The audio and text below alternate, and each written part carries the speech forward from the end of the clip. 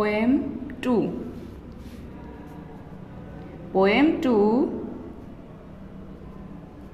name of the poem after a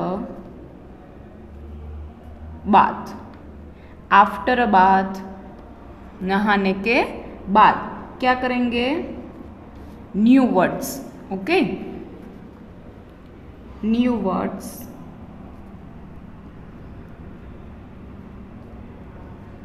चलो first one is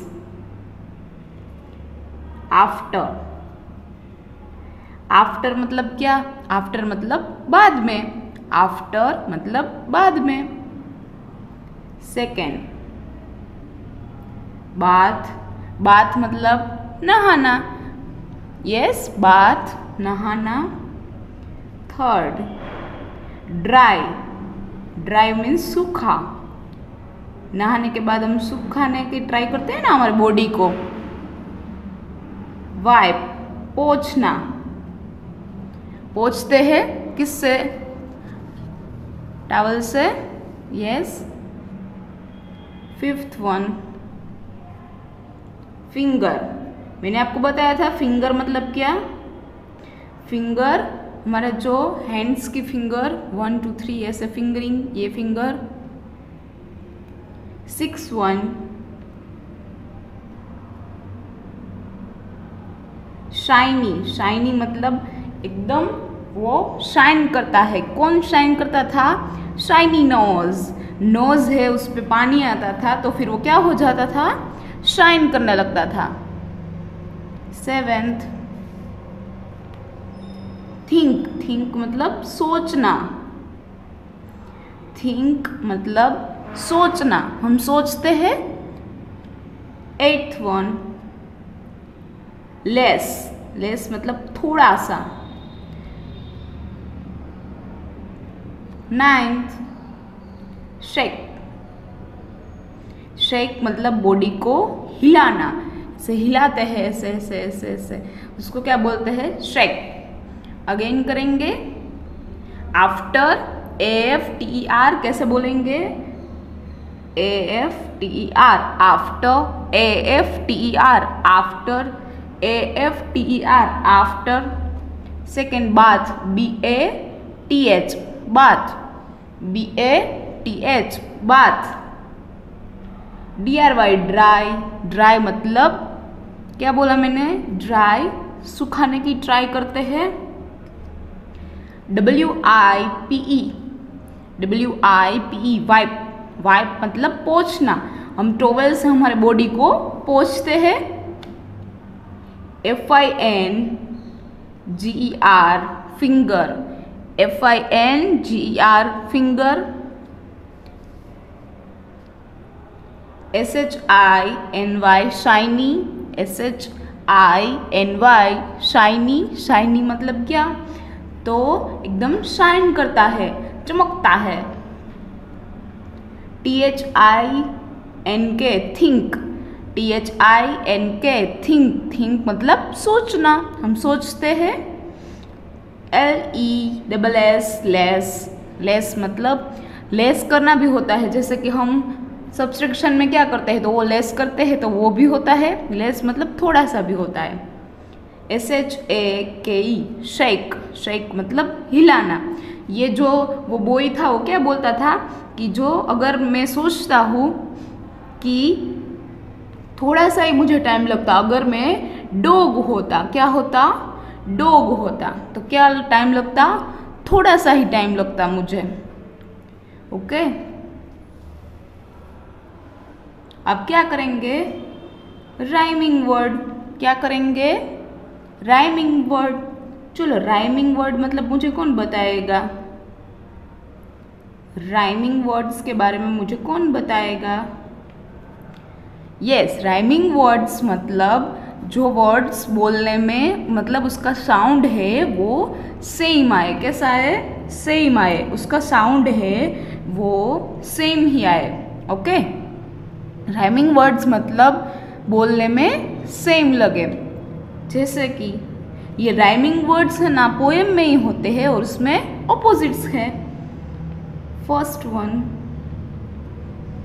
try चलो, ऐसा word अभी कहाँ पे ढूंढना है?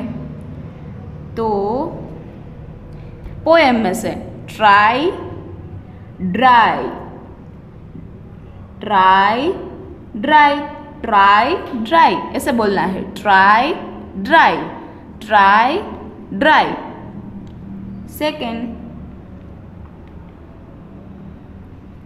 toes पैरों की जो क्या होती है, उंगलियाँ होती है, उसे क्या बोलते हैं? टोज टोज तो nose toes nose toes nose third one take take मतलब कुछ लेना। हम कुछ लेते हैं take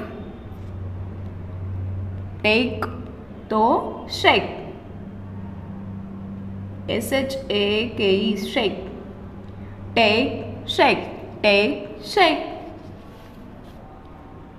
fourth myself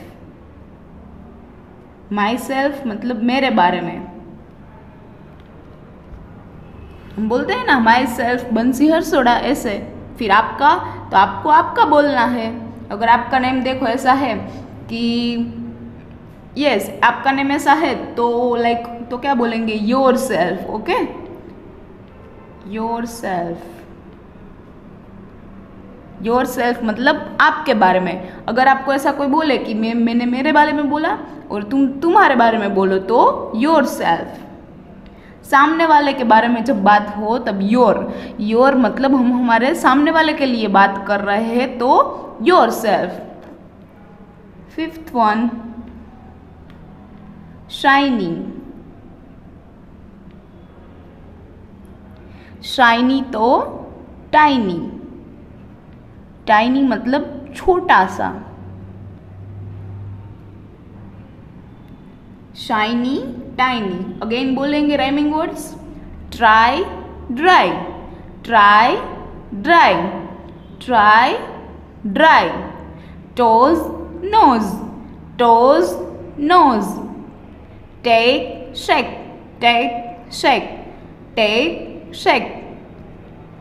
myself yourself myself yourself myself yourself shiny tiny shiny tiny shiny tiny okay अब क्या करना है? न्यू वर्ड्स कितनी टाइम बोलना है? ये न्यू वर्ड्स है ना, आपको आने ही चाहिए। ये न्यू वर्ड्स है उसकी आपको मम्मा को बोलना है कि टेस्ट दे ले ओके तो आपको ये न्यू वर्ड्स तो आने ही चाहिए। तो ये न्यू वर्ड्स आपको बार बार बोलने हैं ओके रिपीट करना है।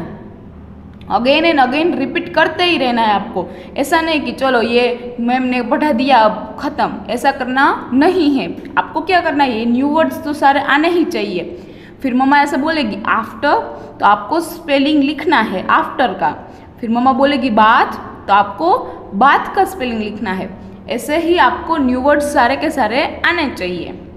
जैसे हम बोलते हैं A F T E R after A F T E R after B A T H bath B A T H bath D R Y dry D R Y dry W I P wipe W I P wipe F I N G E R finger F I N G E R finger. S H I N Y shiny. S H I N Y shiny.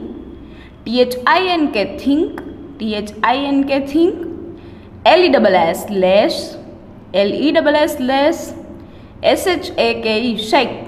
S H A K E shake. Done. New words done and rhyming word.